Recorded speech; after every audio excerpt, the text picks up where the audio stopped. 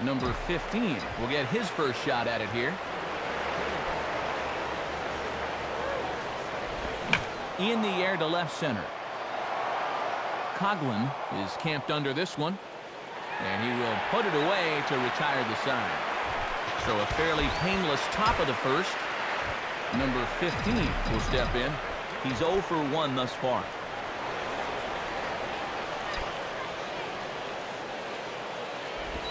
Swinging a high chopper.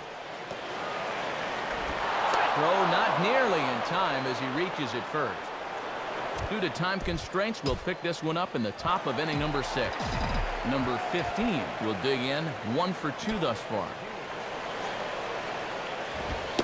And a fastball close, but ultimately ruled a ball, 1-0.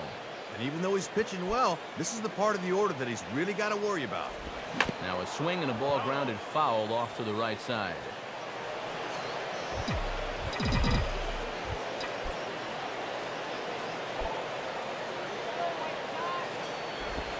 1-1 pitch is a curveball just off the black. 2 and 1 now.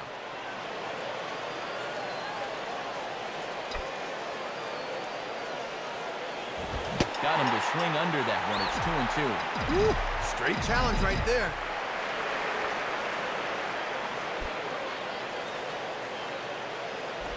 And great extension as he drives this one high in the air and deep the other way. Coghlan there to grab it as that becomes out number two. We'll look ahead now and pick this one back up in the top of inning number eight. Number 15 will get another crack, one for three thus far. And this is taken outside for ball one. Bases are empty here with two men out. Yeah, it looks like they're going to try to milk one more inning out of him on the mound. And he goes down and gets this fastball and takes it high in the air to deep straightaway center. And this ball is